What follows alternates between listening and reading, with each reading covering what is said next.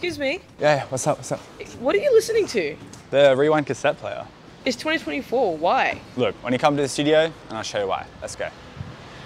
The Rewind cassette player is a modern take on an old school classic. Like all old school cassette players, it has fast forward, rewind buttons, headphone input, volume control, and a microphone input. But to keep up with the times, they've added some more modern features, like a rechargeable battery, which gives you 12 hours of continual playback, and Bluetooth connectivity, so you can connect your wireless headphones or your speakers. Now, besides your usual music listening, you can connect a microphone into the stereo input, so if you ever want to make a mixtape or record a demo of your song, you sure can. Now I'm going to set it all up to record a track. I'll show you just how easy it is to use. You couldn't have known. Oh, oh, while you're falling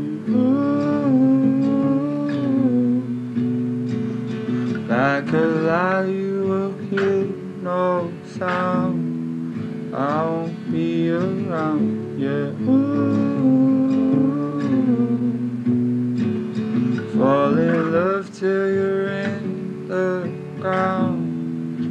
See you around.